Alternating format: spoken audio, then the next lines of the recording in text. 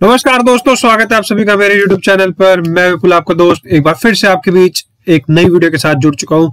और आज इस वीडियो में मैं डिस्कस करने वाला हूँ, यहाँ पर चैप्टर नंबर टू अगर डायरेक्ट टैक्स की बात करें, एक बार फिर से, जैसे हमने पिछली बार हमने चैप्टर नंबर वन की सारी इलेस्ट्रेशन सॉल्व करी थी, इस बार भी सारी इलेस्ट्रेशन और साथ ही साथ टेस्ट और नॉलेज के भी क्वेश्चन सॉल्व करेंगे चैप्टर नंबर टू के। और चैप्टर नंबर टू हमारे डी के अगर पेपर नंबर फोर की बात करें तो चैप्टर नंबर टू है हमारा इनकम एग्ज़ाम फ्रॉम टैक्स ठीक है? जो एग्ज़ाम इनकम भी आप कह सकते हैं, और मेजरली अगर आप बात करें तो मोटा मोटा उसके अंदर एग्रीकल्चर इनकम के बारे में है।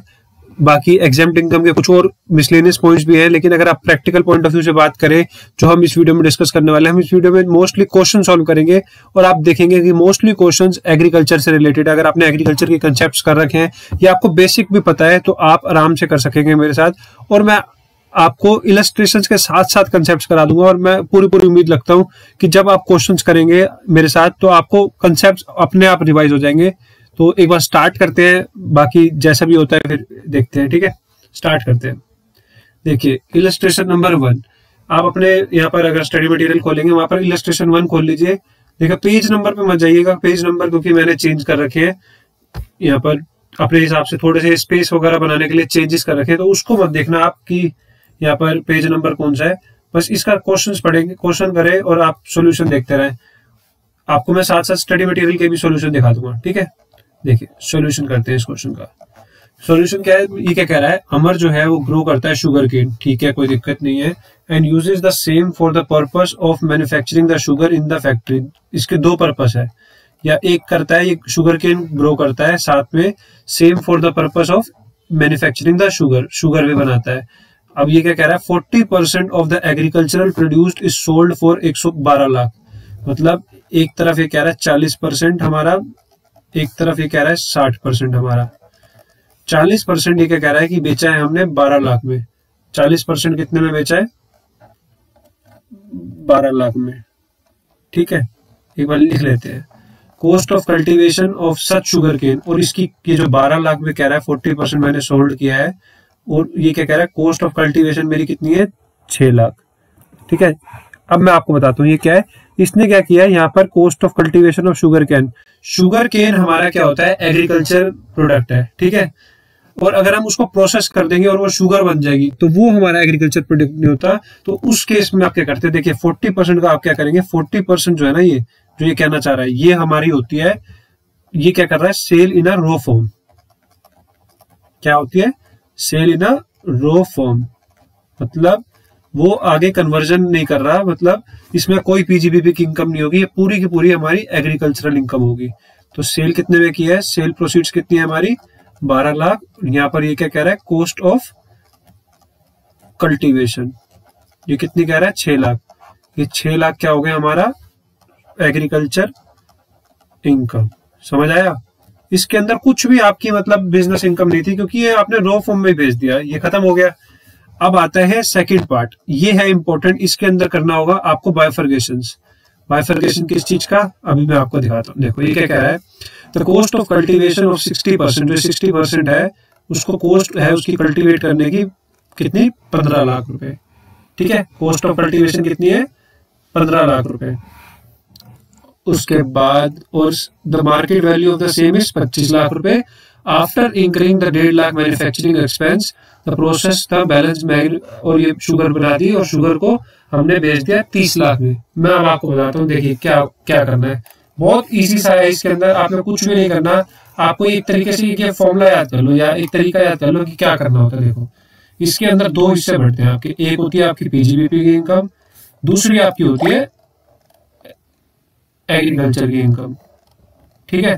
पीजीबीपी की इनकम और एग्रीकल्चर इनकम इसमें आपके दो हिस्से हैं। तो आपने पीजीबीपी की इनकम में आप क्या करोगे? आप देखोगे सेल ऑफ़ फाइनल प्रोडक्ट आपका कितने में बिका है? अगर आप देखोगे आपका फाइनल प्रोडक्ट बिका है कितने में? थर्टी लाख में। तीस लाख में बिका है आपका फाइनल प्रोडक्ट ठीक है? उसके बाद ये क्या कह रहा है? यहाँ पर आप लेते हो fair market value of agriculture produce fair market value देखो यहाँ दे रखी होगी।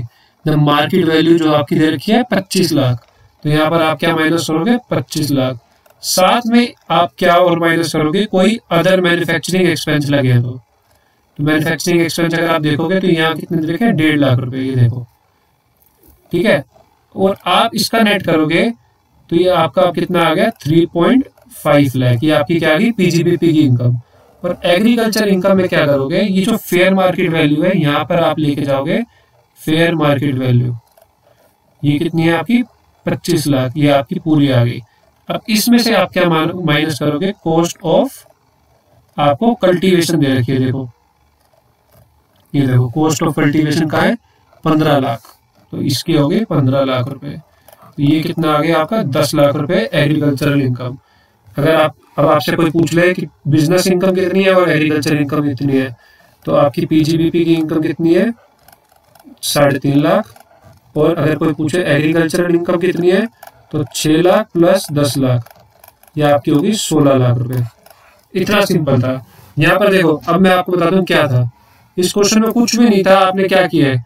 यहाँ पर एक एक, आपने शुगर केन को क्या किया? शुगर केन का फोर्टी परसेंट जो था, आपने उसको रो फॉर्म में भेज दिया। ठीक है? बिल्कुल रो फॉर्म में भेज दिया। और ये आपने क्या करा है? आफ्टर प्रोसेसिंग बेचा है। आफ्टर प्रोसेसिंग बेचा है। और आफ्टर प्रोसेसिंग में क्या होता है कि आप क्या करते हैं? एग्रीकल्चर इनकम निकालने के लिए आप लेते हैं फेयर मार्केट वैल्यू उसमें से माइनस करते हैं कॉस्ट ऑफ़ कल्टीवेशन और यहाँ पर क्या करते हैं? सेल ऑफ़ फाइनल प्रोडक्ट जो फाइनल प्रोडक्ट बेचा है, उसमें से ये फेयर मार्केट वैल्यू माइनस कर देते हैं और माइनस कर देते हैं मैन्युफैक्चरिंग एक्सपेंस ये आपकी आती है पीजीबीपी की इनकम बहुत सिंपल सा क्वेश्चन था। उम्मीद करता हूँ आपको बहुत अच्छे से समझ आया होगा। अब जाते हैं हम इलस्ट्रेशन नंबर टू की तरफ़। ठीक है? इलस्ट्रेशन की टू की तरफ़ चलते हैं। देखिए, ये आ गया आपका illustration number two illustration number two आपका कौन सा है? नीलेश वाला। देखो, नीलेश वाले में आपने क्या करना है? ये देखिए। एक सेकंड सॉरी सॉरी सॉरी अगर आप आंसर मैच करना चाहोगे, देखो। आंसर बिल्कुल सही आएगा। सोलह लाख, साढ़े तीन लाख जो हमारा आया। ठीक है? बहुत ईजी था। कुछ था ही नहीं इसमें यार। अब इस क्वेश्चन की अगर बात करो, ये एक और बहुत सिंपल है, इसमें तो यार कुछ नहीं करना है, ये क्या कह रहा है? एक लेटेक्स है लेटेक्स आपको पता है रबड़ का होता है। रबड़ का है। रबड़ में आपको वो परसेंटेज याद करनी है, पैंतीस, पैंसठ वाली, मैं आपको दिखा देता हूँ, अगर ये दे रखी है यहाँ पर यहाँ पर दे नहीं रखी। मैं आपको अलग से इसकी टेबल दिखा दूँगा, इसमें क्या होता है? आपको सिर्फ़ परसेंटेज याद रखनी है। और एक चीज़ याद रखनी है कि जो ज़्यादा वाला रेट होता है ना, जो रेशियोज दे रखी है, वो आपका एग्रीकल्चर का होता है। बस ये याद रखना आपने। अगर आप इसमें देखें कि सोल्ड फॉर कितने में बेचा आपने? सिक्सटी, छत्तीस लाख में आपने बेचा है मार्केट में, ठीक है। उसमें से आपकी कॉस्ट को ग्रोइंग कितनी थी? सोलह लाख। उसमें से आपकी मैन्युफैक्चरिंग लेटेक्स की कितनी थी? बारह लाख। बचा कितना है आपका? अट्ठाईस और आपका बचा ये आठ लाख। अब आठ लाख को आपने क्या करना है? आठ लाख का एक एग्रीकल्चर होता है, इसमें से एक हिस्सा होता है पीजीबीपी का। तो आपको ज़्यादा, आपको क्या याद रखना है? ज़्यादा वाला परसेंटेज होता है इसका एग्रीकल्चर का। ठीक है? तो ज़्यादा हमारा रबड़ के केस में क्या होता है, हमारे दो रेट होते हैं सिक्सटी फाइव परसेंट फॉर हमारा होता है एग्रीकल्चर और पैंतीस परसेंट क्या होता है हमारा पीजीबीपी ये मैं आपको टेबल भी दिखा दूँगा, ठीक है? आपको एक बार अभी। तो इसमें से 65 परसेंट अगर हम कर देंगे तो हमारा क्या आ जाएगा टू ये आ जाएगा हमारा 5.2 लाख और बिज़नेस इनकम हमारी क्या हो जाएगी, इसका अगर आप थर्टी फाइव परसेंट करोगे तो आपका आएगा 2.8 लाख आप करके देख सकते हो, बहुत ईजी था। देखो एग्रीकल्चर इनकम हमारी 5.2 पीजीबीपी 2.8 अगर आप यहाँ देखो देखो एग्रीकल्चर इनकम 5.2 पीजीबीपी 2.8 कुछ था इसमें। बहुत सिंपल सा था यार देखो। सिंपल परसेंटेज निकालने आपने मैं आप, आपको परसेंटेज किए देखे जो मैं टेबल की बात कर रहा था। ये एक बहुत इंपॉर्टेंट टेबल है। मोस्टली क्वेश्चन में ये यूज़ होगी देखो पैंसठ परसेंट और पैंतीस परसेंट जितनी भी एग्रीकल्चरल इनकम है ज़्यादा वाली वो एग्रीकल्चर के कॉलम में और कम वाली पीजीबीपी के कॉलम में ठीक है? अब ऐसे एक क्वेश्चन इसका भी आएगा इसमें इसका भी आएगा। तो ये आपको रेट याद रखने बहुत आसान है। अगर आप बात करें इलेस्ट्रेशन नंबर थ्री पे आ जाते हैं, अगर हम देखें। देखो इलेस्ट्रेशन थ्री क्या कह रहा है कि अंकुर जो है ओनर ऑफ़ द ये केरला में है, जिसमें ये पैडी वैडी ये सब बनाते हैं, ठीक है, कोई दिक्कत नहीं है। पाँच लाख ऐसा rent towards the for the shooting of the film ये आपको याद आ जाएगा। अगर आपने कंसेप्ट पढ़ रखे होंगे शूटिंग ऑफ़ द फ़िल्म से आई है तो ये आपका एग्रीकल्चरल इनकम नहीं है। ये आप पढ़ सकते हो, मैंने हाईलाइट करा है note in the nature of agricultural income it was neither received against the agricultural produce sale of agriculture produced और carrying a normal agricultural operation on the land ठीक है? ये था इसके अंदर। Income derive from aligning for the shooting can not be agriculture income समझ आ गया? तीन इलस्ट्रेशन हमने फटाफट से डिस्कस कर लिया है। अब एक ये इंपॉर्टेंट कंसेप्ट आ रहा है, जिसके अंदर आपने क्या करना है, जिसमें ये पागल बनाने वाला है टैक्स यहाँ पर गवर्नमेंट ने जो पागल बनाया लोगों को इसको हम क्या कहते हैं पार्शियल इंटीग्रेशन टैक्स वसूलने का एक पागल बनाने का तरीका। मैं आपको इसमें थोड़ा सा जल्दी जल्दी से कंसेप्ट बता देता हूँ, क्या होता है कि इसमें क्या होता है, अगर आपकी एग्रीकल्चरल इनकम जो है मोर देन पाँच हज़ार है, और आपकी non agricultural income more than the basic exemption limit है तो आपका लगता है पार्शियल इंटीग्रेशन का कंसेप्ट पार्शियल इंटीग्रेशन में आपने क्या करना है? सबसे पहले आपने क्या करना है? एग्रीकल्चर और नॉन एग्रीकल्चरल को इनकम को ऐड करना है। ठीक है? उसके ऊपर टैक्स निकालना है। उसके बाद आपने क्या करना है? नॉन एग्रीकल्चरल इनकम और बेसिक एग्जामेशन लिमिट को ऐड करना है। उस पर टैक्स निकालना है। वन और टू का डिफरेंस निकालना है। फिर आपने सरचार्ज या सेस जो भी है वो ऐड करना है। बस, खत्म। ये कंसेप्ट है। अब मैं आपको फटाफट से दिखा देता हूँ। देखो, इस क्वेश्चन में मैं आपको ज़्यादा, देखो, इसमें क्या है? एग्रीकल्चर इनकम आपकी मोर देन पचास, पाँच हज़ार, ठीक है? नॉन एग्रीकल्चर इनकम ये कितनी है? Seven point eight lakh, more than the basic exemption limit, ठीक है? समझ आ गया? कुछ था ही नहीं इसमें। तो अब आपने क्या करना है? आपने पहले क्या करना है? एग्रीकल्चरल इनकम लेनी है। एग्रीकल्चरल इनकम आपकी कितनी है? चार पचास, ठीक है? यहाँ पर इसमें एक्सपेंस कितने दे रखे हैं हमें? एक साठ के एक्सपेंस दे रखे हैं। आपका ये कितना आ गया? दो लाख नब्बे हज़ार आपकी क्या आ गई? एग्रीकल्चर इनकम ठीक है? अब बात करें अगर बाकी other income non agriculture income की बात करें नॉन एग्रीकल्चर इनकम आपकी कितनी है?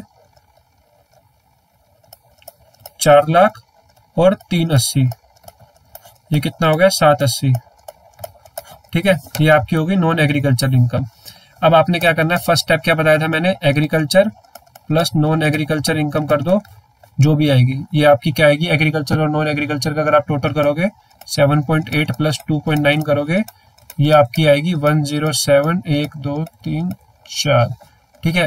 और अगर आप इसके ऊपर टैक्स निकालोगे, हम कैसे निकाल रहे हैं? पहले हम एक बार निकालेंगे न्यू रिजिम के हिसाब से और एक बार निकालेंगे ओल्ड ओल्ड वाली कौन सी कह रहा हूँ मैं? जो हमारी पहले ढाई लाख वाली ओल्ड को ओल्ड मान के चल रहे हैं, ठीक है? न्यू वाली कौन सी? वो ज़ीरो से तीन लाख वाली, तीन से छह लाख वाली, ठीक है? दोनों दोनों तरीके से क्वेश्चन सोल्व करके दिखाना है। अगर आपको, अभी मैं आपको सोल्यूशन दिखा दूँगा।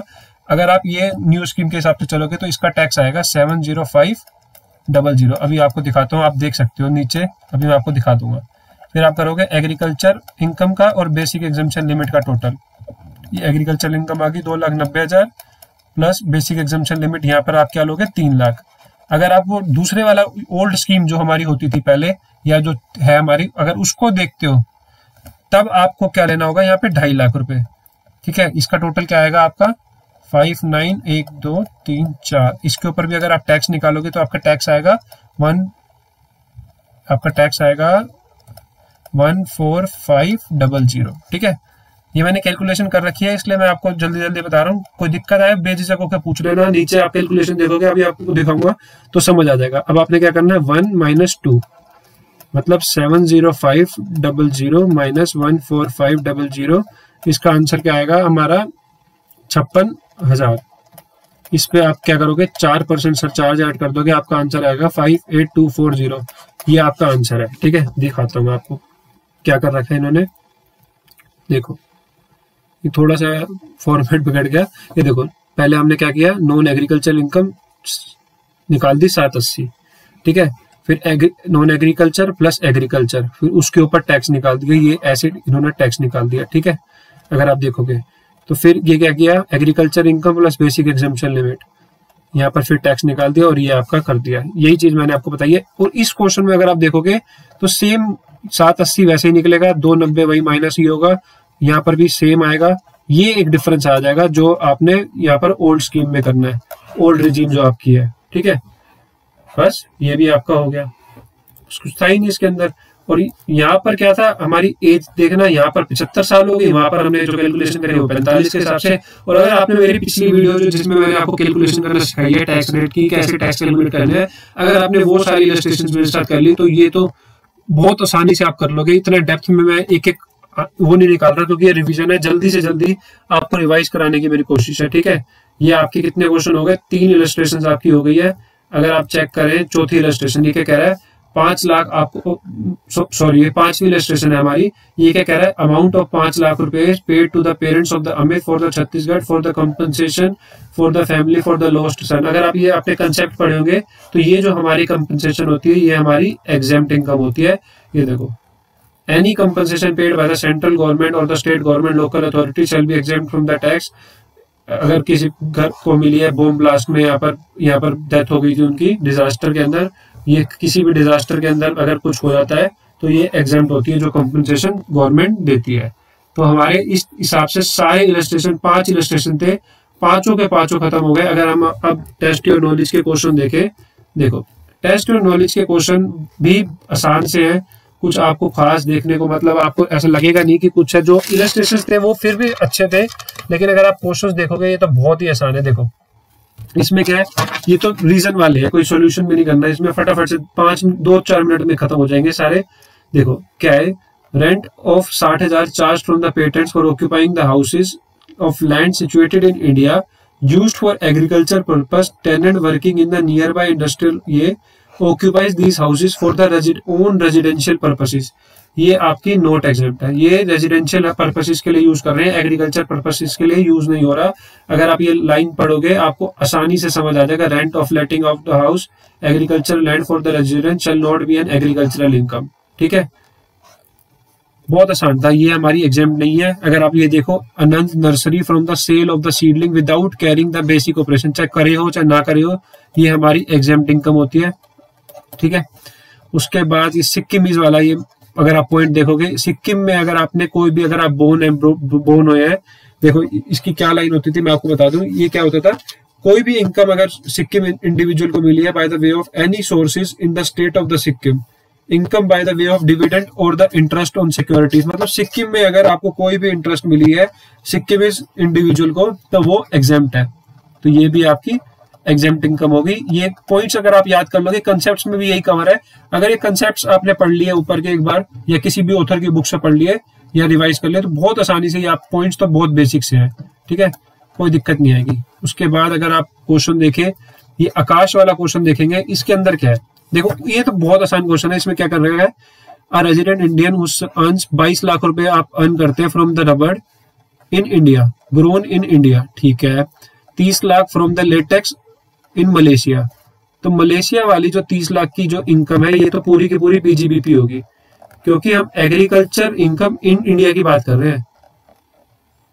ठीक है? इन इंडिया में कितनी एग्रीकल्चर इनकम है? इंडिया में तो दो हिस्से बनते हैं, जब हम रबड़ की बात करते हैं। क्या बनते हैं? कि पीजीबीपी है तो 35 परसेंट। और एग्रीकल्चर की कितना हिस्सा बनता है? एग्रीकल्चर इनकम कितनी बनती है? पैंसठ परसेंट। ठीक है? और आउटसाइड इंडिया अगर एग्रीकल्चर इनकम है तो पूरी की पूरी पीजीबीपी है। ये होगी तीस लाख की पीजीबीपी इनकम ठीक है? अगर अब इसका हम पैंतीस परसेंट कर देंगे, पैंतीस परसेंट कितना आएगा? बाईस लाख का, जो इंडिया में अर्न करी है, बाईस लाख का पैंतीस परसेंट सेवन पॉइंट सेवन ठीक है? और एग्रीकल्चर का कितना आएगा? Fourteen point three percent. बस ये करना आपको अगर रेट याद है ना आपको, ये पैंतीस और पैंसठ, बस आपने डिवाइड करना है। अगर इंडिया है तो दो हिस्से बटेंगे। अगर आउटसाइड इंडिया है तो पूरी की पूरी पीजीबीपी की इनकम है। ये एग्रीकल्चर इनकम नहीं है। आप सोल्यूशन देखेंगे, आपको बहुत आसानी से समझ आ जाएगा। बस दो मिनट और लगने हमें इस टॉपिक में। उसके बाद हमारा ये टॉपिक खत्म है। अगर आप देखें, इसके बाद ये लास्ट क्वेश्चन राम वाला देखें। इस क्वेश्चन में क्या है? इसमें क्या कह रहा है कि अर्न्स पंद्रह लाख रुपए from the sale of the coffee grown and cured in India देखो, अगर आपने वो पढ़ा होगा ना कंसेप्ट ध्यान से, अगर ग्रोन एंड क्योर्ड होता है ग्रोन एंड क्योर्ड होता है तो उसके अंदर पीजीबीपी इनकम कितनी होती है? पच्चीस परसेंट और एग्रीकल्चर होती है पचहत्तर परसेंट। लेकिन अगर आपने पढ़ा हो कि ग्रोन क्योर्ड रोस्टेड ज़्यादा ही उसको मतलब हमने और कन्वर्ट कर दिया तो वहाँ पर हमारी पीजीबीपी का हिस्सा ज़्यादा हो जाता है। पीजीबीपी हो जाती है चालीस परसेंट और एग्रीकल्चर इनकम हो जाती है साठ परसेंट। बस आपने जो ये इनकम है, उसको आपने ये पच्चीस लाख को आपने इस रेशो में डिवाइड करना है। ठीक है? समझ आ गया? पच्चीस लाख को इस रेशो में डिवाइड करना है और यहाँ पर ये पंद्रह लाख जो ग्रोन एंड क्योर्ड है, उसको इस रेशो में डिवाइड करना है। समझ आ गया? बहुत आसानी से मतलब अगर आप देखोगे ना, अगर आपको वो टेबल याद है, देखो, मैं आपको टेबल दिखा देता हूँ। पैंसठ परसेंट, ये देखो। अगर आपको ये टेबल याद है तो आपने कुछ भी नहीं करना सिंपल से एग्रीकल्चरल इनकम अगर अगर कोई भी इनकम इंडिया में अर्न हुई है उसको आपने बस इस रेशो में, इन रेशोज में अपोर्शन करना है, देखो। बस, कुछ था ही नहीं इस चैप्टर के अंदर। गिनती की पाँच इलस्ट्रेशन और तीन टेस्ट और नॉलेज थे, हमने सारी की सारी खत्म कर लिया है। उम्मीद करता हूँ आपको समझ आई होगी, बहुत मतलब इजी सा चैप्टर था, कुछ था ही नहीं। एग्रीकल्चर ही था इसमें जो मेन मेन मेन था। हमने 20 मिनट के अंदर ये पूरा चैप्टर कर लिया है। अगर आपको कोई भी दिक्कत आए, कोई भी कुछ भी पूछना हो, बेझिझक होकर आप मेरे से पूछ सकते हैं। अगर आपको मेरी वीडियो पसंद आए तो लाइक ज़रूर करें शेयर करें सब्सक्राइब करें मेरे चैनल को। आपका दोस्त पेपोल इसी तरीके से आपके बीच जुड़ता रहेगा। अगर आप चाहते हैं कि किसी और चैप्टर के साथ आपके बीच जुड़ू कमेंट बॉक्स में ज़रूर कमेंट करें, क्योंकि आपके कमेंट्स आपके लाइक्स ही मेरे लिए मोटिवेशन है। अभी के लिए Tata bye bye see you आपसे मिलता रहूँगा नई नई वीडियोस के साथ। Tata bye bye see you bye bye